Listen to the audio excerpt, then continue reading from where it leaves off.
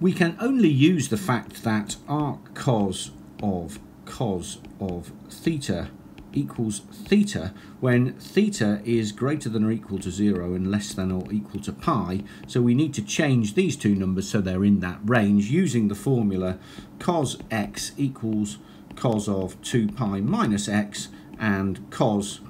x equals cos of x minus 2 pi. So looking at 14 pi over 3 first, cos of 14 pi over 3 is equal to cos of 8 pi over 3, which is equal to cos of 2 pi over 3. That's using the second formula, and now that's in the range. For the second one, we have that cos of 11 pi over 3 equals cos of 5 pi over 3 using the second formula, and then by the first formula, that equals cos of 2 pi minus 5 pi over 3, which is cos of pi over 3. So now we have them in the right form, and we can rewrite this as